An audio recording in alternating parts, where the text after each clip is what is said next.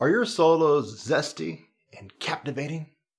Oh, they're not sometimes? Click above me that link, find the link in the description, or just head over to trumpetsizzle.com.